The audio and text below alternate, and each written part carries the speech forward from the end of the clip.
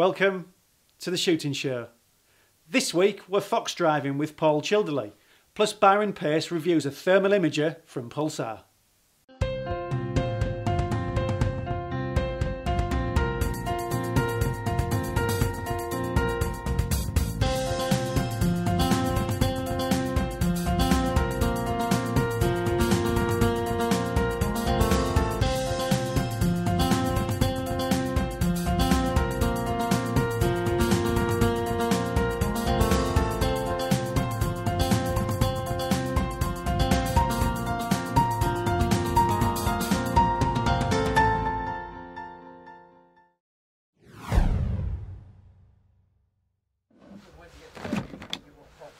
Basically, we're out today doing some uh, fox control. Um, we're planning on driving some of the, the, woods and maybe a couple of the bits of second year um, game cover, um, just to try and control some of the foxes. Uh, it's another like way you can control fox, especially this time of year. We're in the spring.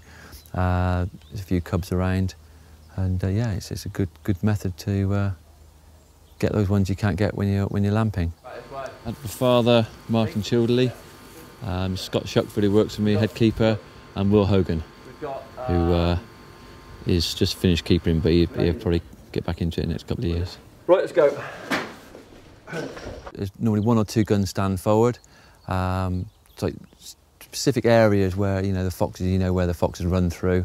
Um, tuck in there, get real quiet, get ready, and uh, a couple of beaters to bring it through. You don't need a lot of beaters, but normally what happens is they fire a few shots in the, in the thick brambles, um, places where they think they lie, and uh, we uh, hopefully they, they they sneak forward and, and we, will um, control them too that way.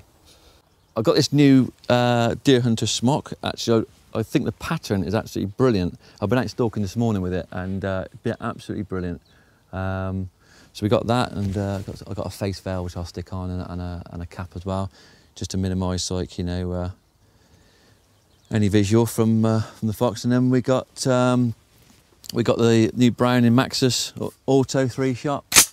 Um, yes, it's well, we'll see what it's like. I haven't actually personally used one before, so I'll, I'll give that a test today. Um, it comes up well, so there's no excuses so far. I've got a tight choking. I do like shooting a tight, tighter choke when we're shooting foxes. So you've got a bit of distance. Um, when you're shooting a bit of distance, you can you can actually you know get a good pattern and um, do the job. And then we're shooting um, Alphamax BBs, uh, Magnum load, 42 grams, stuff that do the business when, when you know when you got a fox out at like 35, 40 yards, you know you're going to kill it and do the job.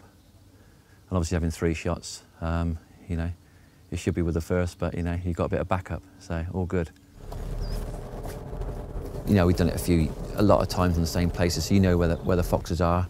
Uh, and then, you know, whoever's doing the beating, you know, know, know the places where they need to put more pressure on to get the foxes to run forward. Um, sometimes they nip out the sides, so you, you know, fire a shot out in front of them, even if it's like a long, long distance away, just to try and push them, turn them back into the drive. Um, and uh, yeah, that's, that's the key to what I'd say. This time of year, birds are nesting. Um, the lambs, like I say, the lambs have been out. Um, we've been losing odd lamb, doing quite a lot of wild birds on this area this year, so uh, it's quite important to get some of these foxes down tricky place here. Um, we got a stream down through here, an old duck pond in here, and uh, we try and nip underneath this grass, across a paddock here, or back to a big wood on this right hand side. Um, very close, difficult shooting.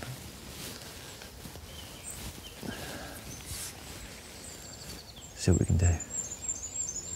Fox driving may not be as common as it once was, but in areas with lamp shy foxes or where the terrain makes lamping a no go, a well run fox drive is just the thing. It's, it's, it is actually a bit of responsibility at the front because you know you got a bit of pressure on because you know we, we need to get these foxes down in this area. So um, yeah, it is literally keep really still. Um, notice everything that's coming towards you. Listen, listen out for um, the signs when they're coming. You know, the cock pheasant cocking up, um, blackbirds, you know, chattering. All those things just tell you where, where he's because he won't hear him coming. He'd be just sneak out the side door and, and then he'd be in trouble. Hopefully, he will be. A small but experienced team of beaters works the line, and Paul waits patiently to see what'll come his way. It's not long before he's rewarded with some quick reactions coming to his aid.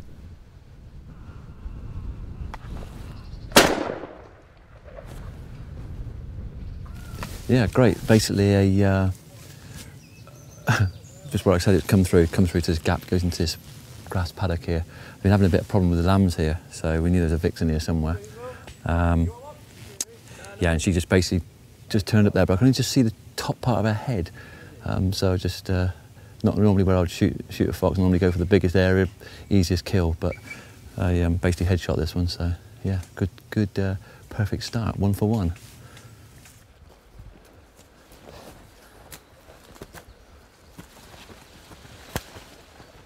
Got to be prepared because you see that vixen come there and she was there and all I had to do was up and bang rather than the whole movement. She didn't know I was there. She was looking out in front and I just basically went up, bang. So, another, you know, not telling people how to suck eggs, but you know, these things do help when you, when you need the results. And now it's hot, so strip down time. Right, let's go. We get, well, we'll walk clear then. Yeah. Yeah, yeah. Eager for more, we head off to the second beat, where Paul is soon at work checking the conditions are correct. You can't leave anything to chance on a fox drive. You need a rigorous plan supported by the correct equipment. Paul's confident his Browning Maxus, loaded with Ely Alpha Max, will do the job.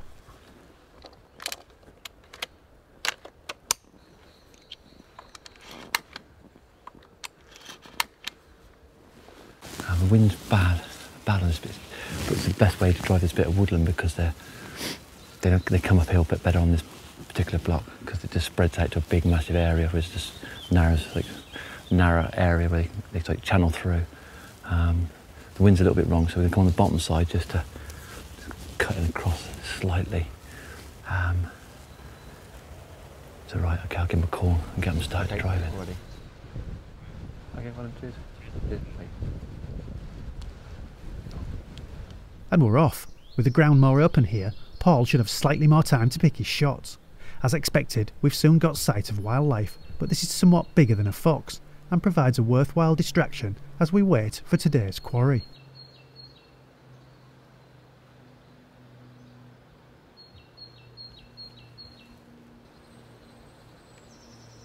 Back to the job in hand. Paul spots a flash of red up ahead. It's a running fox coming his way, and he's soon ready to take it down with one well placed shot.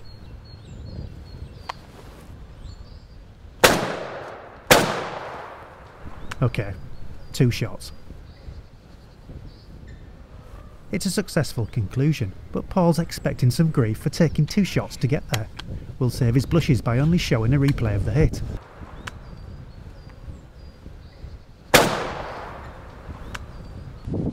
Go on then, here's the miss again.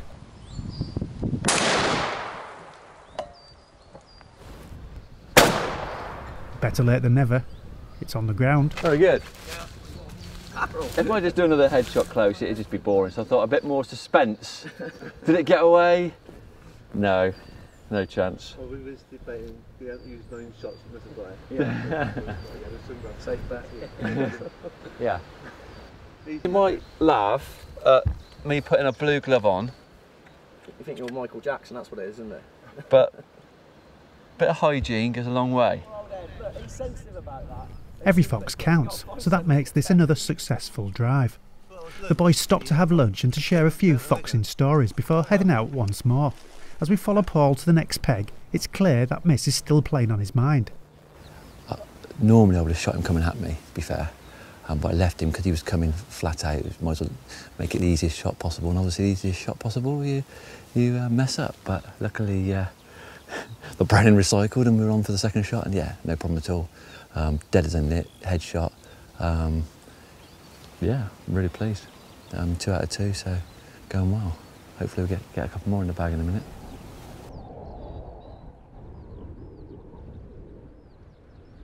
Um, basically, we're gonna we're gonna drive these uh, this second year wild bird mix down.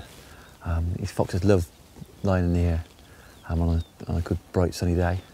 Um, obviously, the whole point of having these wild bird mixes is for wild birds, um, whether it's ground nesting birds or game birds, or obviously uh, your uh, skylarks and everything else. So, um, and obviously, it's a perfect place for a fox to live. um, food on the doorstep and uh, nice bit of cover. Um, so what we're going to do is bring this down. Um, it's pretty straightforward. Um, I'll park the vehicle on the left-hand side to cover. So if he does want to break out that side, um, should see it and come back in towards us. Um, but generally they tend to stick next to the hedges um, if they don't know you're in, in, in, the, in the front. And uh, they just should just creep down or, or bolt out in the end here. And uh, we shall uh, get some results hopefully.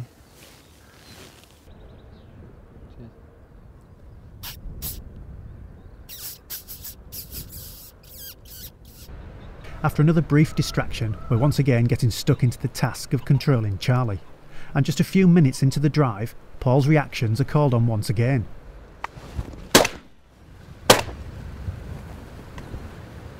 Well, that was fast. Um, big dog fox come out. They pushed him. Um, fox in full speed. That was. From the second year cow, and they actually bumped him up. He was just in front of them, and he got on the feed ride track in the middle, and he just come full tilt straight at the end. Um, I don't think he could run any faster if he could, and uh, missed with the first. Caught me sleeping, I think, and uh, yeah, bowled him over with the second. Perfect. Yeah. Well done. Good result on that one. Uh, big dog fox. Um, you know, big dog fox like that do you know do a lot of, lot of damage in an area. Um, big rangy fox. He's probably got a big range as well, covering a big area. That brings up a Vulpine hat trick for Paul. Three foxes a good tally for any predator control session. Yeah. Going. Flat out. Yeah, yeah. so- Your dog fox. Yeah. He um, he kicked a cock pheasant, so I knew something was coming. But I think he was going to come that fast. Yeah. you missed him here, did you? I totally missed him first shot. Absolutely miles away. Well, we've uh, had three foxes today, uh, a few few pigeons and a few jackdaws and some bits and pieces. But yeah, we had uh, two dog foxes and a vixen. Uh, it's been a good day. The uh, the Maxus has performed well. Double barrel a couple of them, but you know that's that's uh, user error, not nothing to do with the gun. And uh, really pleased with the uh, the cartridges as well. They, they they really did the trick. So um, all in all, it's been a good day. Thoroughly enjoyable and uh, yeah, it's a worthwhile exercise. So very pleased.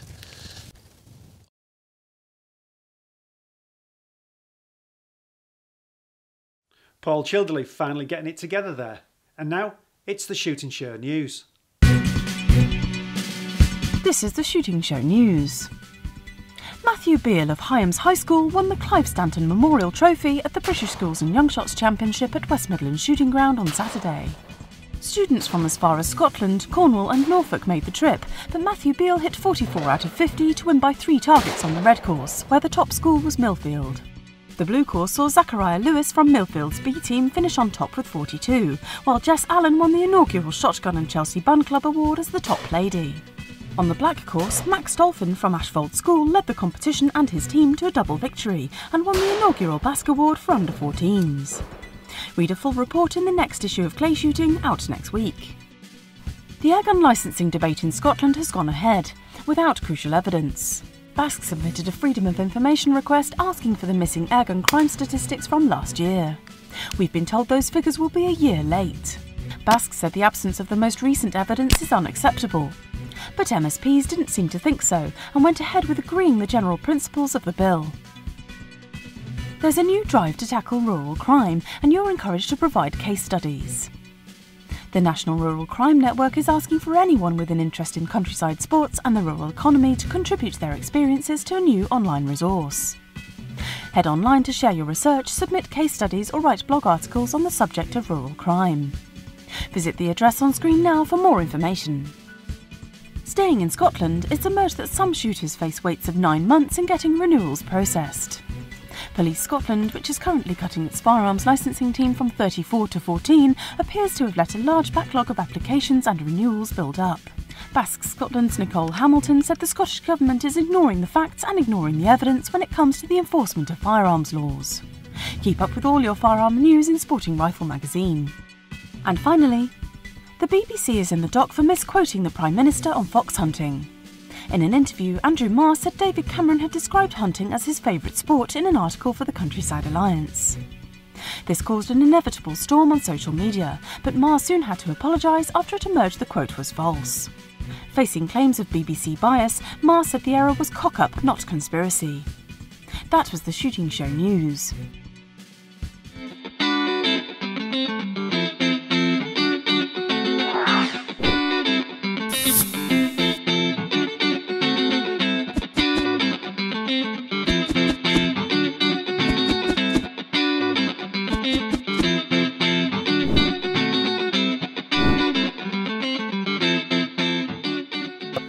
This is the Pulsar Apex. To look at it, it's pretty similar in shape to their N750 night vision scope, uh, but this is a, a very, very different bit of technology. Most people now have had a chance to see some thermal. I've certainly reviewed some on the shooting show before, and you can go back and have a look at those links to see how the technology has progressed.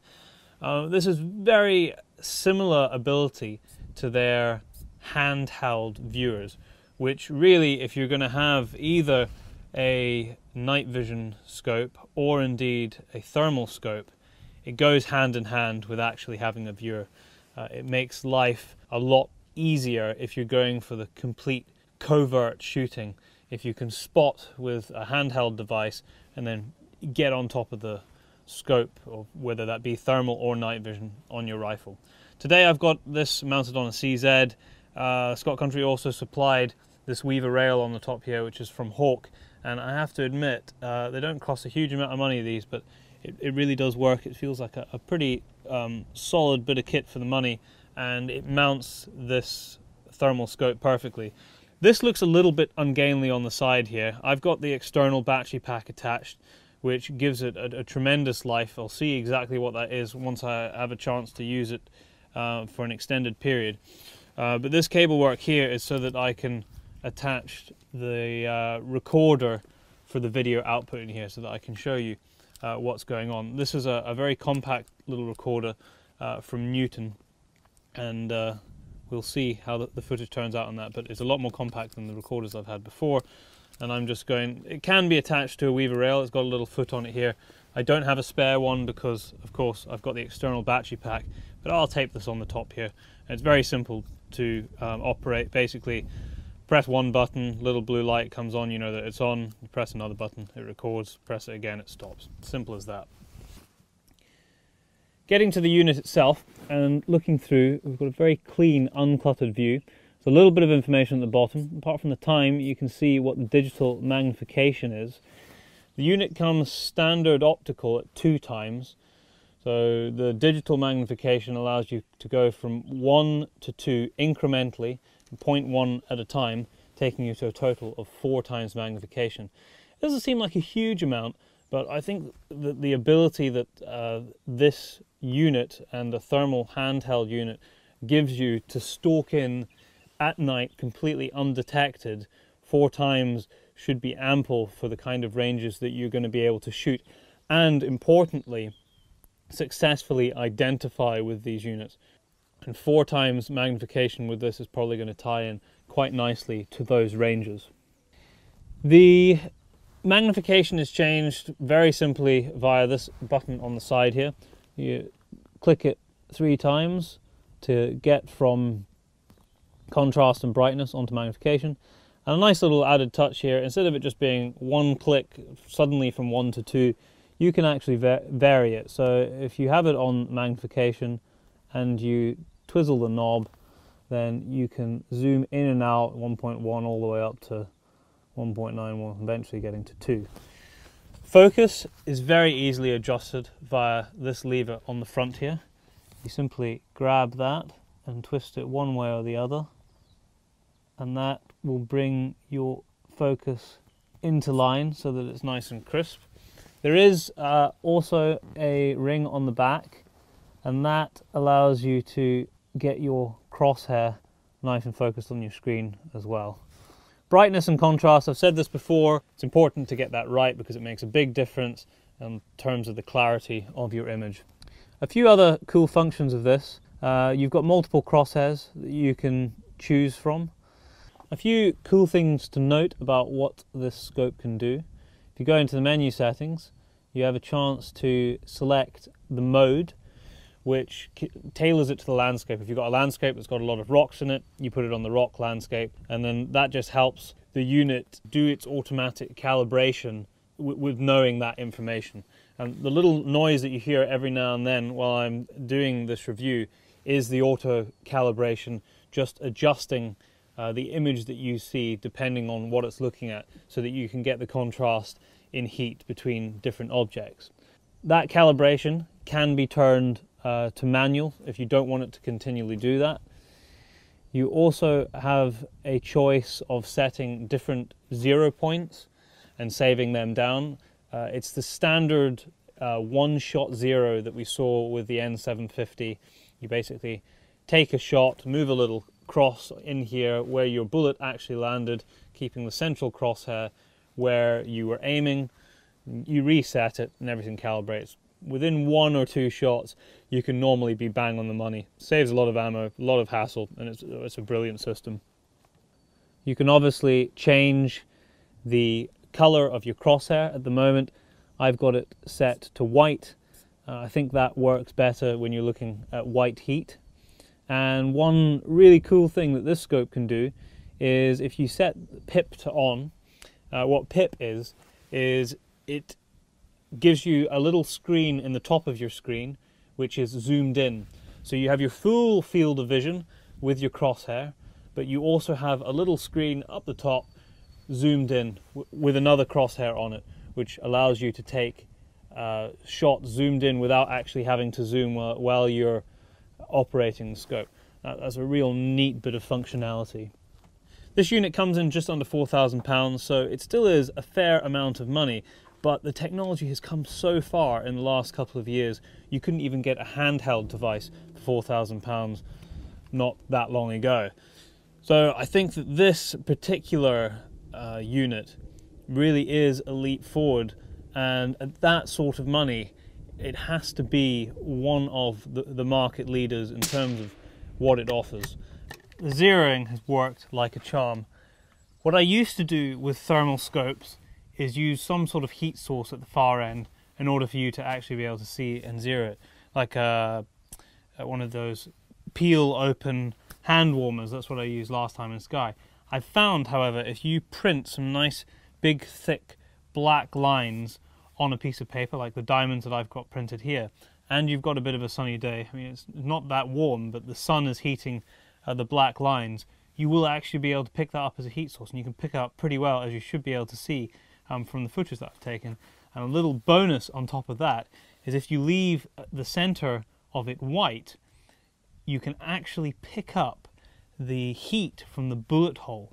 So initially I was zeroing at 25 uh, meters. I've moved it up to 100 now. You can't see the, the heat from the bullet hole at 100, but at 25 you can see it, which allows you to um, adjust the scope uh, in terms of tweaking after your one shot zero exactly where that bullet hole is, which is perfect. I brought it to this bit of ground I've got here, which has rabbits out at all manner of ranges and really lets me get to grips with the capabilities in terms of identifying heat sources and being able to ID what you're looking at. I've been quite successfully uh, shooting rabbits out to 100 yards, as you'll be able to see uh, from the footage that I've taken through the thermal unit. I could very clearly pick up rabbit heat sources at 300 meters and even 400 meters you were able to pick up a heat, heat source on a very small rabbit. At 300 you could make out that they were rabbits when they started to move but you wouldn't really be able to positively identify it safely. At 200 you certainly could.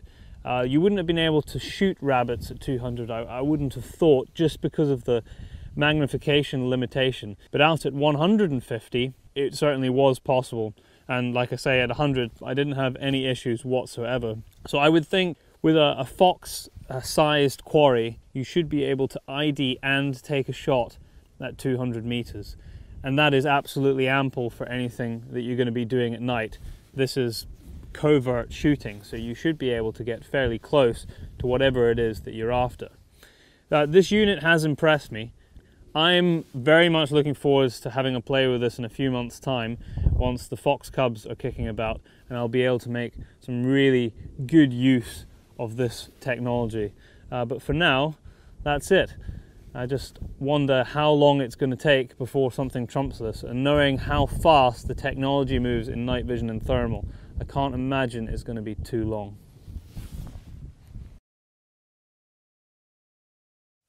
Well, that's it for this week. Thanks for watching. Please like us on Facebook and follow us on Twitter. And if you're not a member of BASC, it's time to join now. BASC, looking after your sport, looking after you.